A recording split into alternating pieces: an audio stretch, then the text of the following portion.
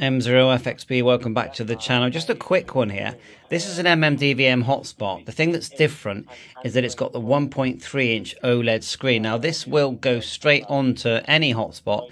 You just have to go into OLED settings in configuration and select OLED 6. And then you're done.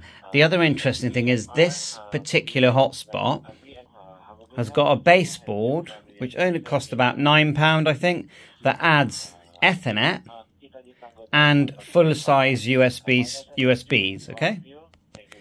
Um, which comes in very handy sometimes if you want to add some peripherals. So how does it join? Well, underneath or in the middle of the, let's call it a sandwich, you've got a normal Raspberry Pi Zero. And if you look inside there, there's some metal pins that poke up and touch the bottom of the Pi Zero that is all that these these connections are all already there. And so it's designed you know the pi zero is designed to be a tiered system you know like a towered system. So there's no modification needed there. So the developers of the board just take advantage of those connections. And you can see it's flashing away now. We don't need to use our wi-fi if we don't want to.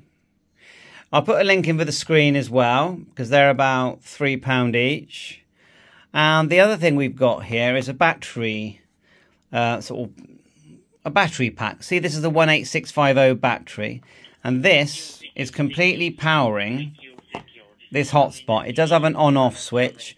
You charge, and it's got the micro USB there. Now, if you want to use USB-C, just get yourself an adapter. They're only about £2, probably less, and you've got USB-C there if you want to charge it that way. And then you can buy double versions of this where there are two batteries.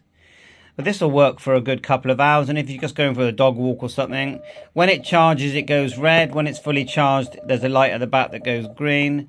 And yeah, we're having fun here. Completely portable DMR hotspot station. Yeah, and if you wanted to sort of connect these two together, I'm sure you could if you were uh, if you took the time to do that. And you'd have a compact, completely portable MMDVM hotspot, which is at the moment on DMR, but it works on D-Star and Fusion, and there's other applications as well. Thanks for watching my YouTube channel. Bye for now.